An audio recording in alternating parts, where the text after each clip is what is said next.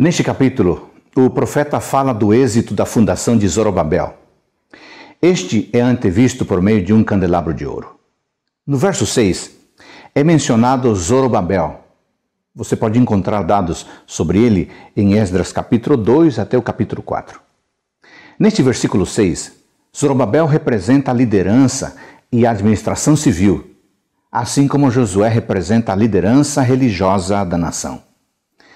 A segunda parte do verso é uma afirmação muito poderosa. Não por força nem por poder, mas pelo meu espírito, diz o Senhor dos Exércitos.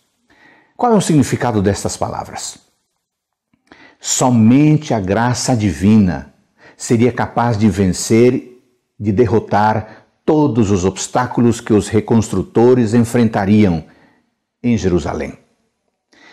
Acontece que Zorobabel e seus companheiros estavam muito desanimados, porque não tinham força e nem habilidade e nem recursos para realizar a obra de restauração. Além do mais, havia uma forte oposição ao trabalho deles. Esta visão mostra que a tarefa seria alcançada a despeito das fragilidades das pessoas. A tarefa seria realizada não por poderes humanos, seria realizada pelo poder do Espírito de Deus. Provavelmente você esteja enfrentando um desafio muito maior do que as suas forças.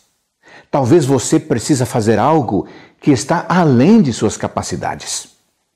Então, preste atenção. Aproxime-se de Deus. Confie nele. Ore a Ele. Espere nele.